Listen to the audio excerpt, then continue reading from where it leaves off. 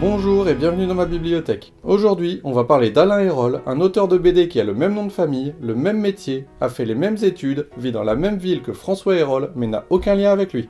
Et pourtant, ça fait beaucoup de points communs. C'est avant tout un conteur, un conteur de talent qui maîtrise son art depuis son passage par le cursus BD des Beaux-Arts d'Angoulême. Mais pas tant grâce aux cours qu'aux parties de jeux de rôle qu'il anime pour les autres étudiants. Entre autres Jean-Luc Masbou et Bruno Majorana, futurs collaborateurs, aussi appelés sous-fifres. Oui, il se définit lui-même comme tyrannique avec ses dessinateurs. Il invente pour ses amis contes et racontars, un monde fantastique mêlant aventures, légendes et combats de cap et d'épée, dans lequel un de ses joueurs incarne un loup, un autre un renard, et où le maître de jeu devient un lapin assistant l'équipe. Cet univers merveilleux va être la source de deux séries, le conte de fée Garulfo et la magistrale épopée de Capé de Croc. Mais pour s'attaquer à ces gros morceaux, il faut déjà qu'il termine les beaux-arts et qu'il trouve un éditeur. Coup de bol, cette année-là, une petite maison d'édition récemment créée par le jeune Guy Delcourt cherche ses futurs talents et tente sa chance dans la fameuse école. La promo des rôles éveille l'intérêt de l'éditeur au point qu'il les embauche presque tous pour un album collectif, Les Enfants du Nil. Cette publication permet le lancement sur la scène professionnelle d'auteurs comme Turf, Joël Mouclier, Claire Wenling et Christophe Gibelin, et bien sûr Masbou et Hérol. Fort de ce soutien, le jeune diplômé commence à rédiger les scénarios de ses œuvres phares et se plonge donc dans le travail de documentation. Sauf qu'il est pointilleux comme garçon. Oui, il est du genre à quasiment reprendre des cours de français pour respecter certaines règles d'écriture poétique et à éplucher les écrits du XIIIe siècle pour en récupérer du vocabulaire d'époque. Et comme un auteur n'est pas rémunéré à lire des fables de La Fontaine et des revues de mode médiévale, il a bien fallu trouver un job pour remplir le frigo. Du coup, il entre au studio d'animation IDDH pour bosser sur le layout, la création de personnages et le scénario de leur série animée. L'auteur y retrouve d'ailleurs Majorana et Masbou et il fera même embaucher Thierry Le Prévost. Ça sert aussi à ça les amis.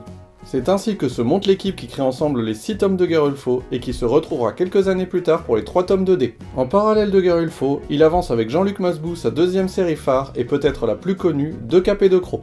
Ce savant mélange de fables et de comédies d'aventure est une immense pièce de théâtre bourrée de références à la littérature classique française.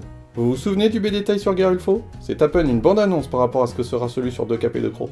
Et ça, c'était du teasing de fourbe parce qu'on n'a pas commencé à l'écrire.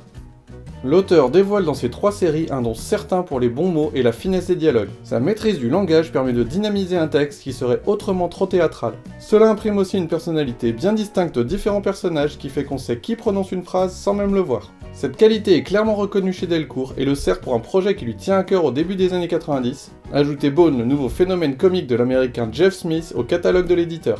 Il a un tel coup de foudre pour la série qu'il fait le forcing pour le faire importer par Delcourt, quitte à en faire la traduction lui-même. Du coup, il travaille sur les 5 premiers tomes de la version française en collaboration avec Anne Capuron qui reprend la suite en solo. Errol fait également partie des auteurs choisis pour participer à la série 7. Avec les crayons de Luigi Crichton et les pinceaux de Lorenzo Pieri, 7 missionnaires racontent l'aventure de 7 prêtres pas très catholiques qui doivent contrer les invasions vikings en Irlande. Un sujet de choix pour un passionné d'histoire vu comme le folklore est éloigné de la réalité historique. Le succès critique est au rendez-vous, l'auteur étant a priori l'un des rares sur la première saison à avoir su maîtriser le développement de 7 personnages et une histoire complète en un seul tome. Un seul tome, même si très épais, c'est aussi ce qu'il faut à ce scénariste pour imaginer Les Indes fourbes, la suite des aventures trépidantes de Don Pablo de Segovie avec la complicité de Juan Troguarnido, que j'ai présenté dans cette vidéo. Je rentrerai dans le détail un jour, mais sachez que ce tome est digne tant de l'auteur de BD que du romancier d'origine.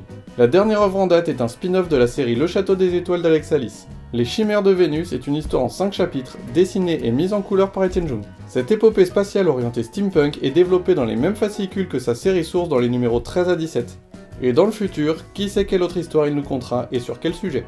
Quel qu'il soit, le récit sera toujours teinté d'humour, car j'ai bien peur que ce soit ma marque de fabrique.